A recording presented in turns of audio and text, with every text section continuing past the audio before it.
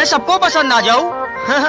पैसा थोड़ी हूँ। पैसा बोलता है, मेहनत का या झोल का है। समझ बेटा तेरा